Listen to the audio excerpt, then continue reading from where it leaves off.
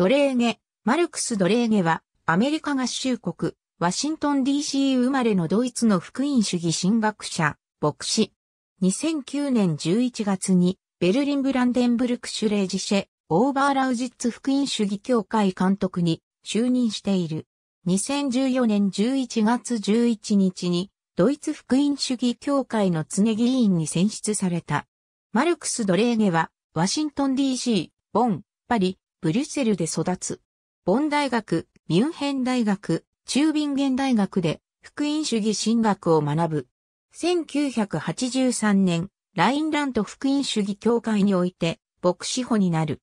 1985年にラインラントプファルツ州、コブレンツシカートハウゼ地区にある、教会共同体の牧師に認職される。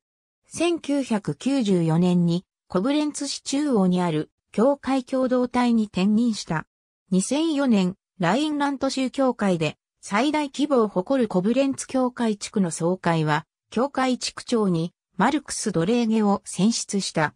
2009年5月15日に、ドレーゲは、ボルフガング・フーバーの公認として、ベルリン・ブランデンブルク・シュレージシェ、オーバーラウジッツ福音主義協会監督に、ベルリンで選出された。2009年11月14日に、宗教会監督に就任した。2014年11月11日、ニコラウス・シュナイダーの公認として、マルクス・ドレーゲは、ドイツ福音主義協会の常議員に選出された。ドレーゲは、教皇ベネディクト16世による、聖ピオ10世会所属している4人の司教たちの波紋解消に厳しい批判を行った。この波紋解消は、エキュメニズムの許容範囲を明らかに逸脱した行為で、あるとドレーゲはみなしている。ベネディクト16世は、第二バチカン公会議で示された解放路線を阻んだだけでなく、ローマカトリック教会を伝統主義に導いていると、彼は発言している。1999年にドレゲは神学博士号を授与された。2000年において牧師としての職務と並行してコブレンツランダウ大学において非常勤講師として組織神学の講義を行っている。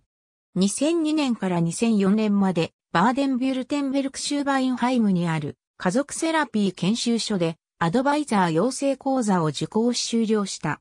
2007年から2009年まで、ラインラント福音主義教会福音主義アカデミー理事長の職務を務めた。